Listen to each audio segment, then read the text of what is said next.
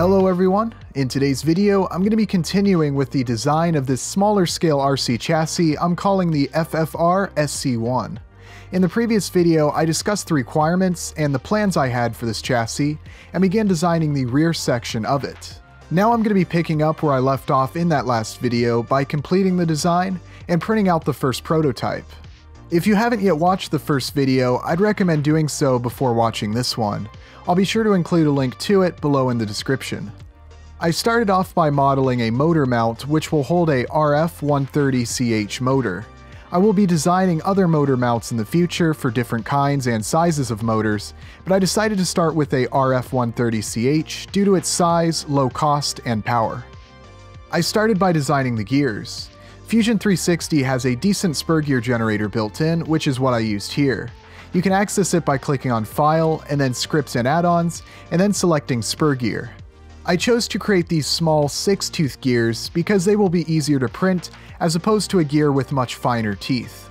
Because each gear has 6 teeth, there will be no gear reduction, which is fine since this motor has plenty of torque. The main purpose of these gears is to drop the position of the output shaft, so that the drive shaft is closer to being level with the rear axle. The overall design is going to look quite similar to the motor mount I'm using on the Firebird build.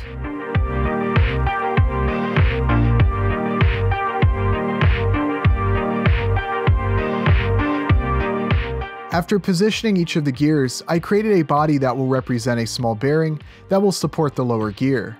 After that, I created a shaft that will run through the center of the gear.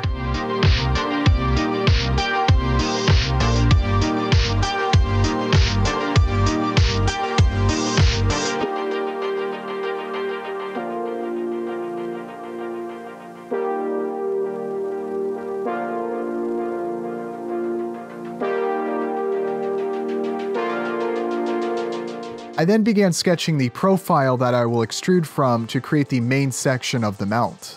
I projected elements such as the holes for the bolts and the bearing and based my design around these elements.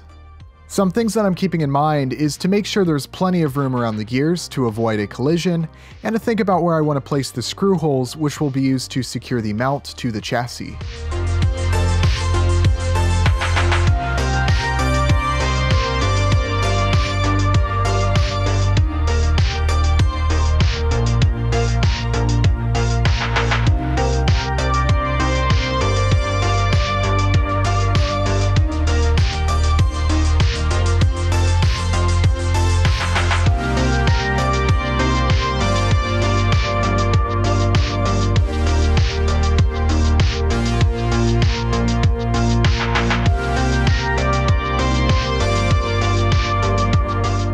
Once the sketch is complete, I begin extruding elements from it.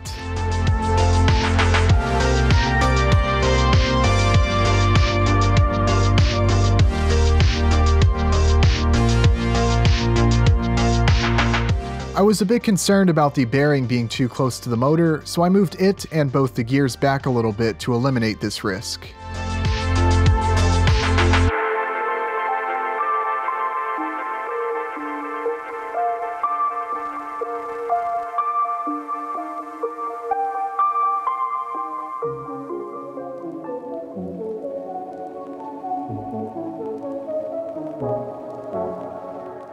I imported a drive shaft socket that will be mounted to the output shaft.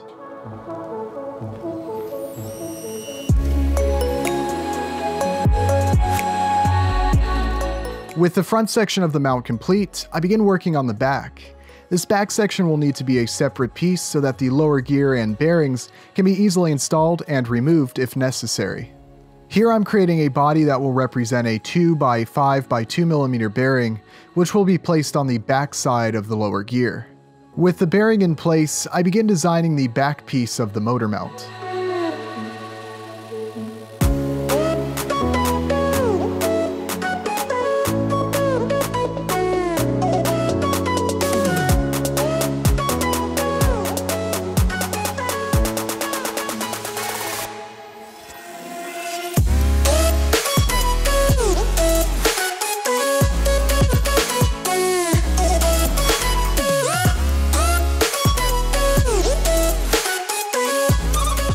Bottom will have four screw holes so that it can be securely mounted to the chassis.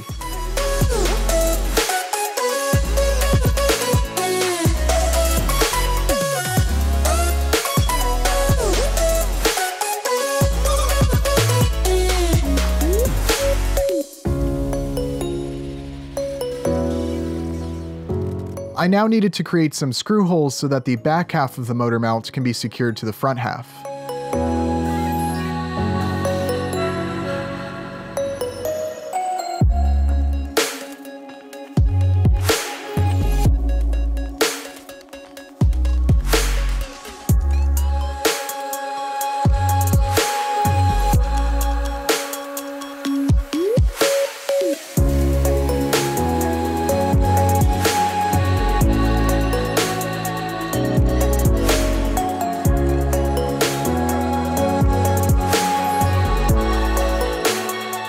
That concludes the design of this motor mount. I now have a way to mount the motor to the chassis and a lower height of the output shaft. I transferred the motor mount assembly and a pre-existing suspension and steering assembly I had previously designed into the project. Using these imported components as references, I can now begin to design the front section of the chassis. One thing that I noticed is that the bottom of the front suspension assembly is set several millimeters lower than the rear axle. To help compensate for this, I dropped the height of the center section of the chassis 1 millimeter. I then started sketching the shape and position of all the holes for the front part of the chassis. Some things I was keeping in mind was to make sure that there is plenty of clearance for when the front tires are turned, and that there is room for the drive shaft and torque arm.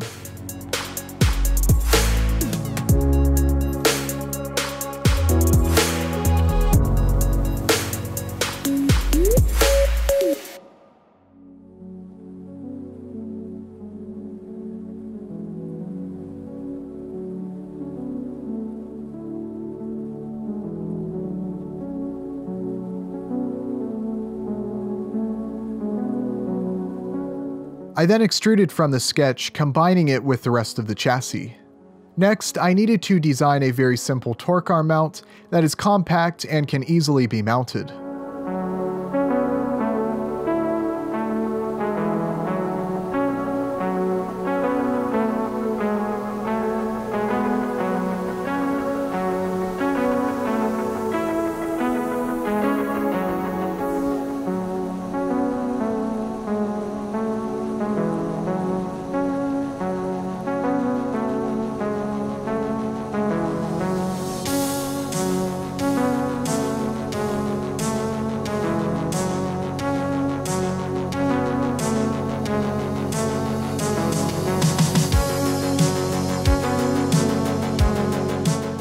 Once completed, I imported this assembly and positioned it onto the chassis.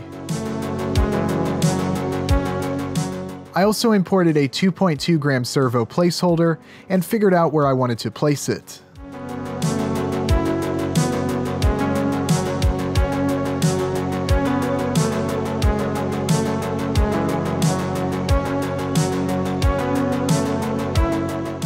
Once I figured out where I wanted to position the steering servo, I modeled some simple mounts that will secure it.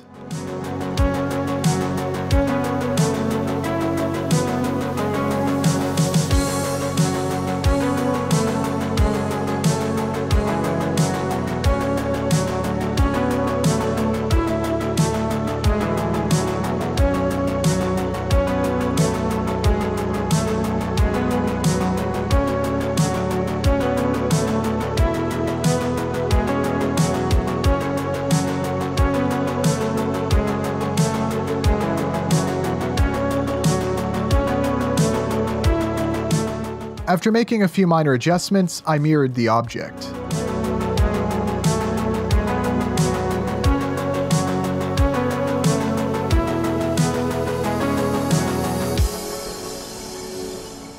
I now needed to mark the position of where all the holes will be for both the steering servo mounts and the torque arm mounts.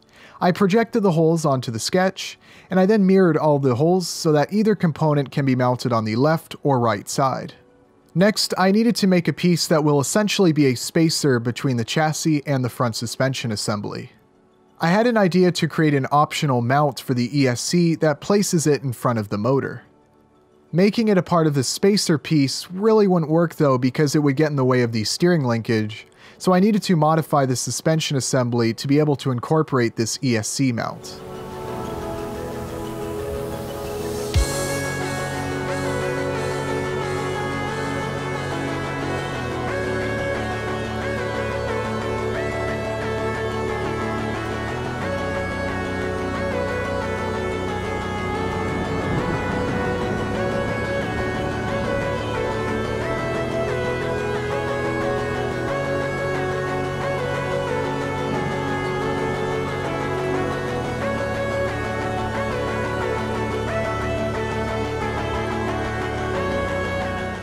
With this modification made, I can now secure a flat piece to the front, which could be used to mount the ESC. With a bit more additional work, an enclosure could be designed to fit the front, which could be made to look like a radiator.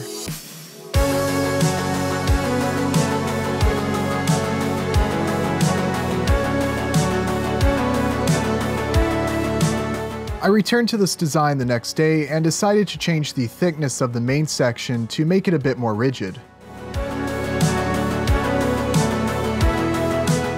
I also shortened the back section as it's currently too long for the vehicles that I will be using this chassis for. I will design several different sizes of this rear piece to fit different bodies. After lowering it down a tad, I wanted to create a separate piece that resembles a trunk pan, which could be used to store the battery or receiver. I started by sketching a side profile and then extruding it symmetrically.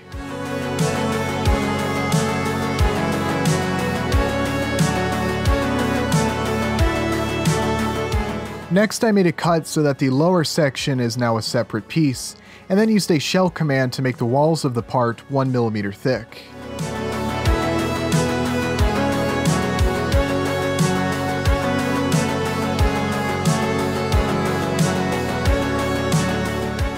After going back in the timeline to shorten the previous extrusion, I then made some mounts so that this piece can be attached to the rest of the chassis.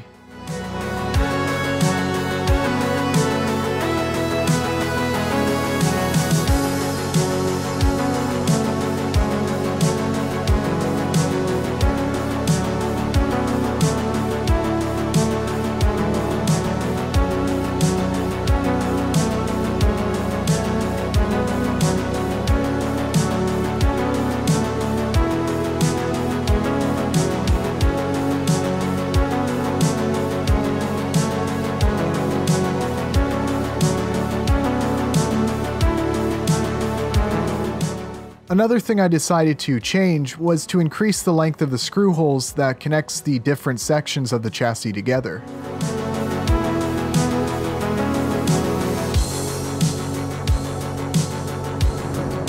For the screws in the back, I needed to create a cylinder and combine it with the rear section to make sure that there is enough wall thickness around the screw holes.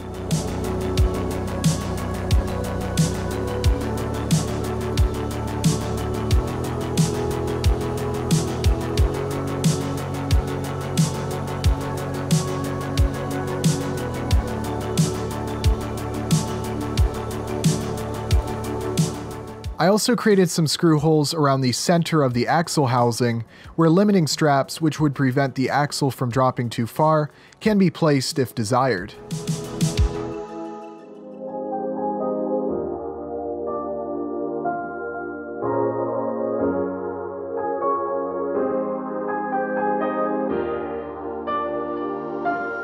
The chassis was now at a stage where I was ready to print the first prototype. I imported the three main pieces into Simplify 3D, which is what I will be using to slice the models and create a G-code file for the printer to read. I positioned each model so that it had a flat surface sitting on the bed, and I added a lot of support material to the overhangs.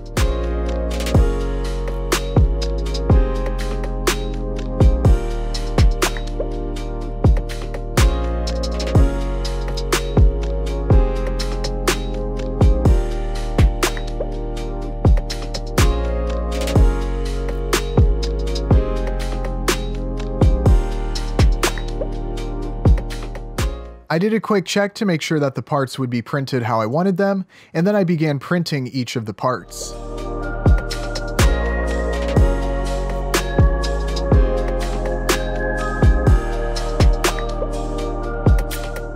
Here's a look at the printed parts.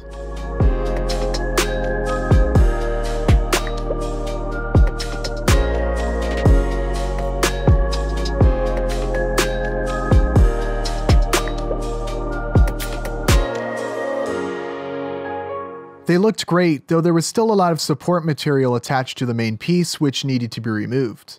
I used a high percentage of infill for the supports to improve the quality of the finished part, however doing this makes the support a bit more difficult to remove. I carefully used some side cutters to peel away all of the support structure.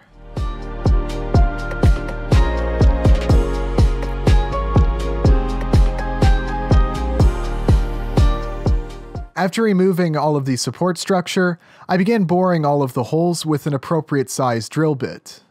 I also cleaned up a few sections with a knife. I then secured each part using screws.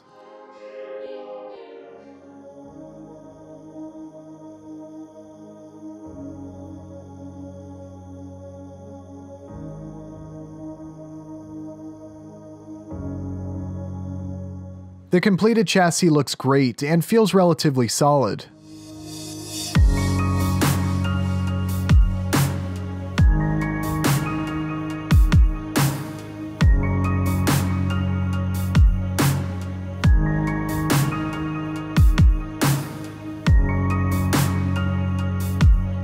I adjusted the dimensions of this chassis so that it would fit this 125th scale Camaro.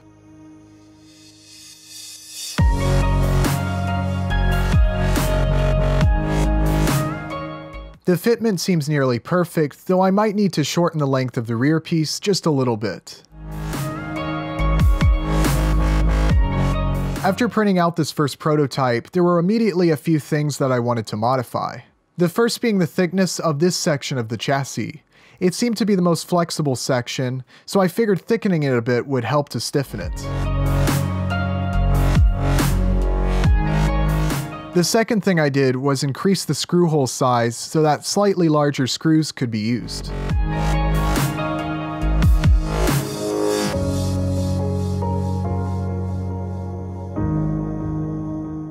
I also lowered these tabs down a bit as well. I'm looking forward to continuing building and experimenting with this platform. I'll be continuing to include updates on this chassis and the builds that are utilizing it in future videos. I've also got some more speed modeling videos in the works, which I will be uploading in the coming weeks. Thank you all for watching, and I will see you next time.